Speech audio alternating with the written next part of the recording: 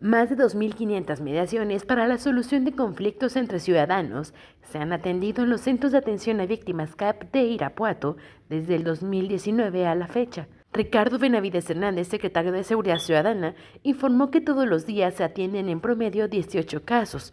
Entre ellos, destacan conflictos vecinales por mascotas sin control e invasión de cocheras en domicilios. El objetivo de la mediación de conflictos es encontrar una solución pacífica a algún problema vecinal, con lo que se previene que estos escalen de nivel. Los centros de atención a víctimas son atendidos por elementos de la Policía Municipal con estudios en Derecho, Psicología, Trabajo Social y Enfermería. Las y los ciudadanos pueden acudir en busca de apoyo a los CAP ubicados en la calle Grillito Cantor, en la avenida Mariano J. García y en la colonia Che Guevara, o bien marcar al teléfono 462-624-0897 y a la línea de atención ciudadana 072.